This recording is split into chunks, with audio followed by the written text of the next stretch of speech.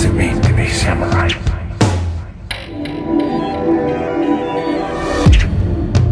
To devote yourself utterly to a set of moral principles. Seek a stillness of your mind.